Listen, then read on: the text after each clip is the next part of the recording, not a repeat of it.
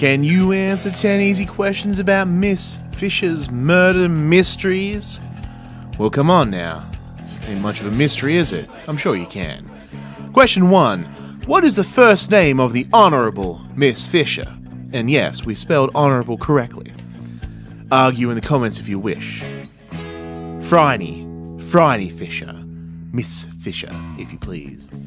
Question 2. She has recently returned to this Australian city, the best one in the country. Melbourne. Melbourne, Victoria, Australia. Or Melbourne if you're wrong. Question 3. She soon finds herself with a new companion, this former lady's maid. Dorothy Dot Williams. Wonder if that's companion in the doctor sense or the other sense. Question 4. Miss Fisher makes herself at home in this famous seaside suburb. Home to a long suffering football team. St. Kilda! God, that house would be worth so much now. I don't want to think about it. Question 5. Phryne can't seem to help running into this detective, Inspector. Jack Robinson, at your service. I'm a cop, ACAB or something. Question 6. Jack is assisted by his faithful constable. His, uh, ready to his Stottlemyre, if you please. Hugh Collins, which, as far as I can tell from my boys in the lab, is not a pun or an insinuation in any manner. Question 7.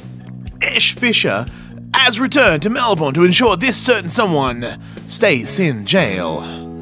Murdoch Foyle, because a Murdoch deserves to be in jail and he's a foil to her. Get it? Question 8. And this is because Murdoch Foyle is responsible for this terrible event. The Grammy. The death of Phryne's sister.